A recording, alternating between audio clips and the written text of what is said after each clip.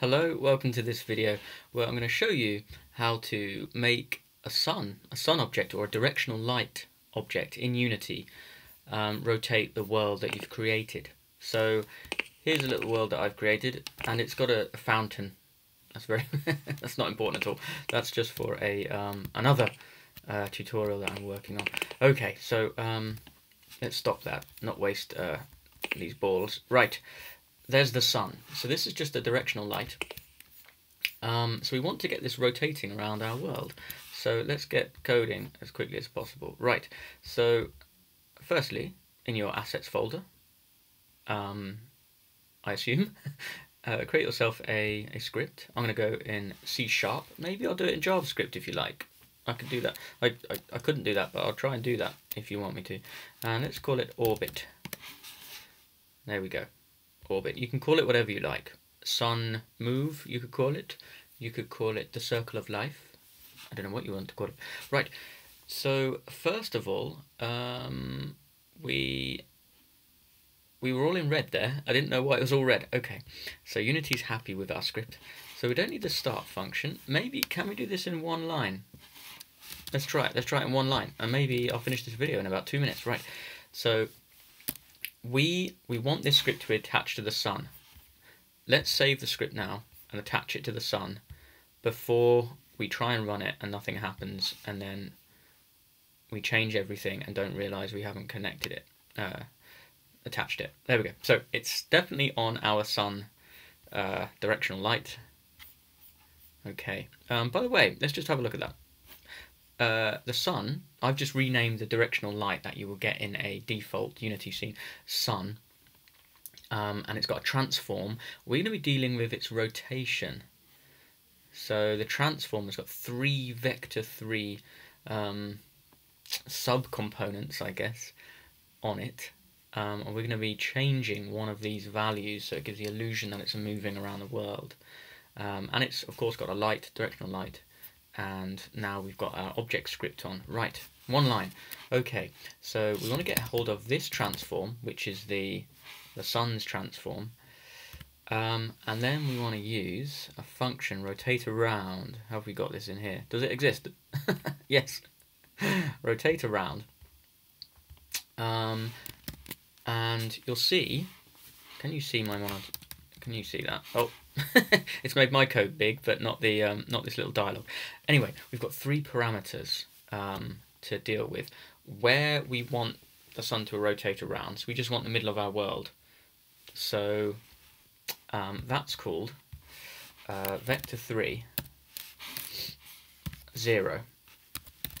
So in Unity, you can you can uh, take advantage of pre-built um, vectors, and the vector 3, um, I guess class, has got um, the dot 0 already built in, and that just means 0, 0, 0, so the very middle of the world. So that's what the, the, the sun's going to rotate around. Then we want the, the axis, so that means kind of like, is it going to go around on the, the y-axis or the, what's that, the x-axis or the z-axis? like this. um, so we want um, the the x-axis, I believe. Let's try that. So again, we can refer to this vector 3 pre-built axis, and we've got the up axis, which is the y-axis. We've got the right axis, which is the x-axis. That's one we want. Or we've got the forward axis, which is the z-axis. Um, so I think we want the x-axis or the right axis. And the final parameter, so the final argument we want to put in is by how many degrees. Um, so in fact, let's put, let's make our own um, variable. That will mean I'm writing more than one line. Um, so we could make this accessible via the inspector. We could say public float uh, theta Theta is just like a mathematical keyword for angle, so I'm going to use that. Theta. Um, and we'll give it a default value at initialization. So theta equals, I don't know, um, 0.1. Okay, um, so this should work. Let's have a look. Let's have a look. and we'll see if our 0.1 is too fast or too slow. Or not working at all of course. Um, let's put the uh, I can press G and I can put my fountain on. That's very important. Change the balls to red. Okay do we have oh we have a moving sun. It's going can you see that? It is moving. Can we see any shadows moving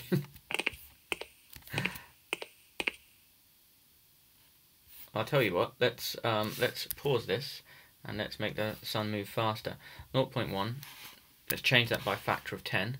So 1, and now, yep, now it's really moving. There we go. so a lot faster. And now we can see the, the shadows really racing. There we go. And I've got a lot of lag. What's that from? Something to do with the shadows, probably, and all of these balls I haven't optimized. Right, so I'm going to race up this hill and see if we can watch the sunset. Um, but there you go. You're, oh, that's lovely. There you go. to have day day and um, day and night cycles, you just need to rotate your sun around a particular angle. Um, there it is.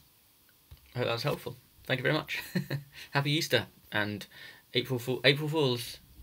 Oh, I didn't do an April Fools though. Okay, I'm wearing a hat. April Fools, I'm I'm wearing a hat.